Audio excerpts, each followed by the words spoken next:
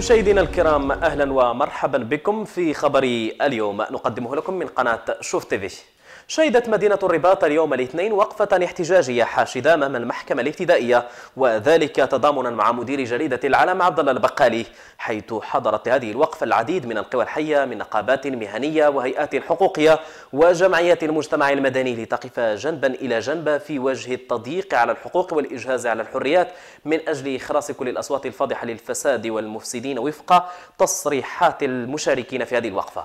وصدحت حناجر المحتجين منادية بحرية الصحافة المغربية ومعارضة المحاكمات السورية وتكميم الأفواه وتقييد الأقلام الحرة والترهيب والتضييق الممارس في وجه الصحفيين ومطالبة بتطبيق العدالة الحقيقية وحماية الحقوق الدستورية للصحفيين من أجل قانون صحافة خال من العقوبات السالبة للحرية يحترم المواثيق والاتفاقيات الدولية.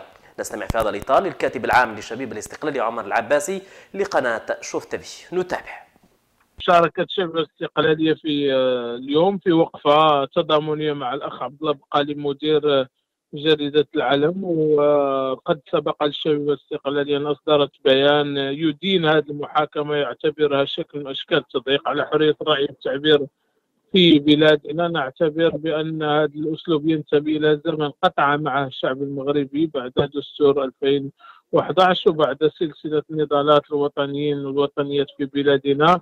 ندعو يعني الجهات التي حركت هذه المتابعة إلى أن توقفها لأن هذا الأمر يعطي صورة سيئة على ديمقراطية بلادنا على بلادنا. سنستمر كشباب استقلالية في مؤازرة ودعم إلى جانب الأخ عبد الله القالي الكاتب العام الأسبق للشبيبة الاستقلالية ونعتز به وبمواقفه التي تنتصر دائما للحرية وللعدالة وللكرامة.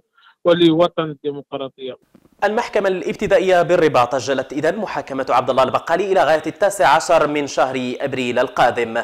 وأفاد البقالي في تصريح لشوف تيفي أن تأجيل المحاكمة يتعلق بقضية ذات صبغة سياسية ومضيفا أن قرار التأجيل لم يفاجئه وكان لابد منه لإعادة لإعداد الدفاع للإطلاع على الملف. نستمع للبقالي في تصريح لقناة شوف تيفي بهذا الخصوص. نتابع.